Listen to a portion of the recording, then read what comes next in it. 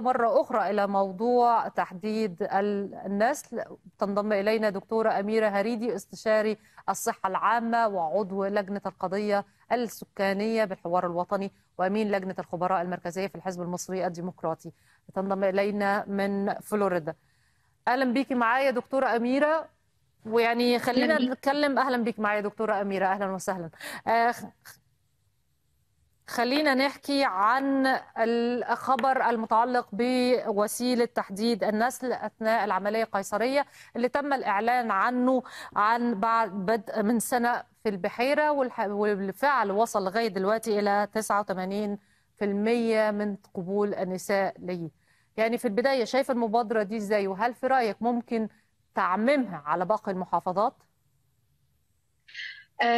الحقيقة شايفة المبادرة إزاي؟ يعني هو أي يعني أي وسيلة قانونية وفعالة لتحديد النسل أو لتنظيم النسل خلينا نقول لتنظيم النسل هي وسيلة محمودة. طالما توفر فيها الشروط ال ال الأخلاقية والشروط الطبية يعني ولا تضر بمصلحة الأم فالوسيلة دي من الوسائل الموجودة المعترف بها المحمودة. ولكن طبعا يعني خلينا نقول إن أطباء النساء طبعا هم يعني الأدرى كانوا دايما بيقولوا إنه يعني الوسيلة دي بتكون فعالة جدا في حالة الولادات القيصرية الاختيارية اللي بتكون الأم رايحة يوم الولادة وهي بالفعل مقررة إنه هي هيبقى في ولادة قيصرية. يعني من الأول لأنه أي محاولات قبلها للولادة الطبيعية وفتح الرحم ده طبقا لكلامهم بيقلل المعدلات بتاعة نجاح هذه الوسيلة وبتخلي الرحم بيكون مفتوح فبالتالي ممكن تكون الوسيلة مش فعالة أو بتسقط يعني. لكن في العموم هي وسيله وسيلة مقبولة. مدى يعني فعاليتها أو إنها تطبق على باقي المحافظات يعني أعتقد إنه هي يعني تطبيقها ممكن يكون مقبول لكن برضو في إطار مبادرات أكبر وإطار مبادرات تتحدث عن تنظيم الأسرة وتنميه الأسرة بشكل عام لكن ما تبقاش مجرد يعني تبقى هي في حد ذاتها إنه الوسيلة تتم في الأمهات اللي بتولد قيصريات ويوم الولادة و طب ما ده ده يخلينا نروح للسؤال الثاني دكتورة أميرة. يعني الحقيقي إن جزء إن بعيدا عن الجدل الطبي المتعلق بالوسيلة وهو جدل قائم ما بين الأطباء لكن في جزء ثاني حقوقي وقانوني ونتمنى إن إحنا نطمن منك عليه. إيه الإجراءات القانونية اللي بتتم في المستشفى للحصول على موافقة السيدة؟ وخاصة إن هي بتتم في لحظة الست رايح الأم رايحة تولد الست رايحة تولد فظروفها وأفكارها في مكان تاني خالص. فهل الوقت ده كافي إن إحنا ناخد منها هذه الموافقة؟ بالظبط ده سؤال مهم. يعني خليني أقول إنه يعني أي إجراء بيحصل لل... في أي عملية مش بس في الولادة ومش بس أي إجراء تدخل طبي بيحصل في أي مكان المفروض إنه بيكون في آه consent في إقرار بيمضيه الأهل بيكونوا عارفين فيه المخاطر اللي ممكن يتعرضوا لها وبالتالي ده أحد الإجراءات اللي بتتم لازم يكون واخدين فيها موافقة الأم. لكن سؤالك منطقي جدا هل الموافقة دي بتتم في يوم الولادة؟ آه هل الأم في وقت زي ده بتكون على وعي وقدر كافي وخصوصا في الثقافات اللي موجودة عندنا إنها بتكون يعني موجودة في مكان تحت إيد دكتور فهل هي يعني آه وهي مش في وعيها ده سؤال مهم يخلينا نروح لحتة مهمة قوي إنه هل ده آه منطقي انه يكون بيتم يوم الولادة؟ لا طبعا المفترض إنه بيكون بيتم من قبلها لازم يكون في اتفاق مسبق أنا من وجهة نظري إنه حتى لو في آه إقرار بيتم في الموضوع ده لازم يكون من قبل الولادة بفترة كافية ويكون للأم والأب ويكون عارفين فيها كل المخاطر أو كل هو مفيش في الحقيقة مخاطرها مش كبيرة لكن يكونوا عموما عارفين الوضع كامل ونكون متأكدين إن دي رغبة الأم والأب بشكل حقيقي وما يكونوش محطوطين تحت أي ضغوطات وبالتالي نتأكد إن الممارسة تمت بطريقة يعني بطريقة سليمة وبطريقة أخلاقية يعني. طب دكتورة أميرة أنا عندي سؤال مش متأكدة إن أنت تكوني ممكن تعرفي إجابته بس يعني بما إننا بنتحدث عن الجانب القانوني والأخلاقي أيضا وهل هل في لحظة زي دي لو في سيدة تعرضت لضغوط من أجل إعطائها الموافقة أو زوجها تعرض لضغوط هل في إجراء هي تقدر تعمله؟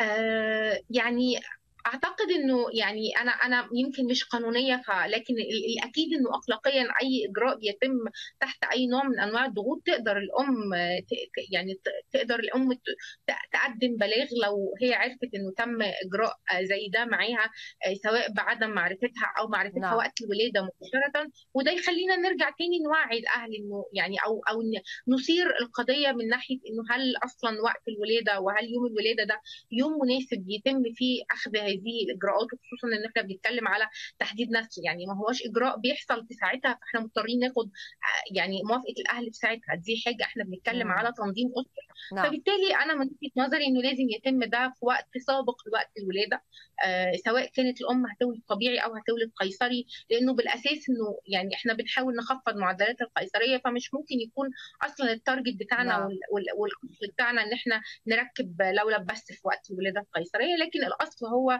تركيب وسيلة فعالة لتنظيم الأسرة وبالتالي ده لازم يكون خيار يناقش من قبلها من الحقيقة من أول حمل الأم وده اللي بيخليني يعني أقول إنه في مبادرات تاني أوسع وأشمل يجب أن تكون طب أنا عارفة إن انت عايزة تكلمينا دكتورة أميرة عن مبادرة الألف الذهبية فلو ممكن تكلمينا وتكلمينا إزاي بتحقق أهدافها وسنعود مرة أخرى للحديث أيضا عن الولادة القيصرية بما إننا فتحنا هذا الموضوع. اتفضلي. يعني الحقيقة انه هي يعني الكلام عن الألف الذهبية لا يختلف تماما عن الكلام على تنظيم الأسرة وعلى الولادات القيصرية لأنه هو في الآخر هي مبادرة الحقيقة تبنتها يعني يعني عدد من الجمعيات على رأسها الجمعية المصرية للزمالة البريطانية لطب الأطفال والدكتوره عبلة الألفي هي مبادرة وتم تبنيها الحقيقة من عدد من الوزارات بتتكلم على إنه إزاي أهمية الألف يوم الأولى من حياة الطفل اللي بتبتدي مع اليوم الأول لحمل الأم وإنه إزاي نقدر نقدر نتكلم مع الأم على على عدد من المحاور والتوعية اللي بتتم إزاي التغذية الصحية السليمة في الفترة الأولى من من الولاده ليه بنتكلم على الألف يوم تحديدا؟ لأنه في الألف يوم الأولى اليوم اللي فيها بيروح ما بيتعوضش. كل يوم فيهم مهم وكل يوم فيهم فيه جزء بيتكون من الطفل مهم جدا. وده بيستمر مع الطفل حتى بعد يعني نعم. السنين الأولى من عمره وبيقلل من معدلات الأمراض الغير السارية. بيتكلم فيها على على تقليل معدلات القيصرية وإزاي نساعد الأم إنها تغذي الطفل تغذية سليمه تقلل معدلات القيصرية الاختيارية؟ إزاي إن إحنا كمان نعمل مباعدة؟ وده الجزء المهم اللي إزاي نعمل المباعده ما بين الحاملين ما بين الحاملين المتتاليين وانه إزاي نقدر نوعي الأم من وهي لسه حامل إنه دي خطوة مهمة قوي لصحة طفلها بتقلل معدلات الأمراض عند الأطفال ومعدلات التغذية الامراض سوء التغذية والتقزم والتوحد وإنه كمان بتدي فرصة للأم إنها تكون ترضع طفلها رضاعة طبيعية وهي كمان تستعيد صحتها قبل الولادة الأخرى اللي هتعملها. فبالتالي بنتكلم من منظور حقوقي يمس الطفل وبيمس الأسرة فبالتالي الاستجابة بتكون عالية. ده بيتم عن طريق مقدمي مشوره بيتم تدريبهم وبتقدم المشوره بشكل فيه خصوصية جدا من أم الأم من 1 تو 1 اسمها ما هياش بتقدم بشكل عام فده كمان مهم قوي وأثبت نجاحه والمبادرة الحقيقة عملت طفرة هايلة جدا والحقيقة إنه تم تبنيها من عدد من الوزارات زي وزارة الصحة وكمان وهي موجودة يعني فين دكتورة أميرة؟ والله جغرافيا يعني هي موجودة بتطبق دلوقتي زي بروتوتايب على عدد من المحافظات يعني وبيتوسعوا يعني بتطبق في محافظة بورسعيد بتطبق في محافظة اسكندرية في مشروع شغال دلوقتي تم تطبيقها في محافظة دمياط. يعني بدأت تطبق لكن طبعا هم لأنه لسه يعني المبادرة في بداياتها فبتطبق على مستويات صغيرة. لكن نعم. النتائج اللي طلعت على هذه المستويات كانت نتائج مبشرة جدا. والحقيقة إنه مع يمكن تبنيها رئاسيا وتبنيها من عدد من الوزارات يمكن تكون ده كمان يعني حاجة مهمة تخليها تحقق نجاحات. فده بالنسبة لي أنا من وجهة نظري يعني إنه ده يمكن يكون أكثر فعالية إنه أنت بتوعي الأسرة بالكامل بتوعي الأم والأب والحما لأنه دول ناس مهمين أم الحما الحما لأن دي كمان من الناس المؤثرة جدا في حياتهم في حياة الأسرة. بالتالي إحنا بنخلق حالة من الوعي مش بس بفكرة المباعدة لكن المباعدة وكل وتقليل القيصريات وما إلى ذلك. فده باختصار الكلام ذكرتي إن هو بيتم من أم الام هل معنى كده إن مثلا ال ال يعني مين المشارك؟ هل الأطباء مشاركين؟ هل بيتم في داخل الوحدة الصحية؟ هل بيتم داخل المستشفيات؟ هل الممرضات المشاركين؟ مين تحديدا الأم؟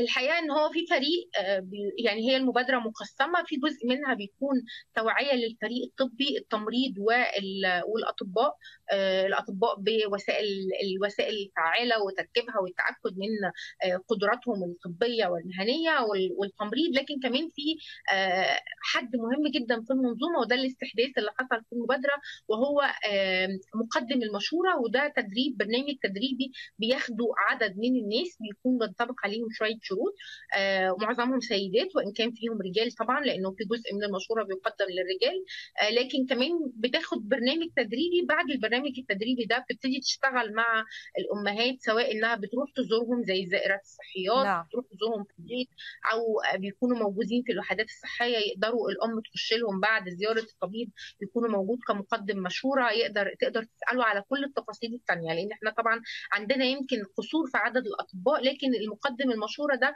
ينفع يكون بيسد فجوة ما موجودة وطبعا تحت إشراف طبي كامل من آه من المبادرة.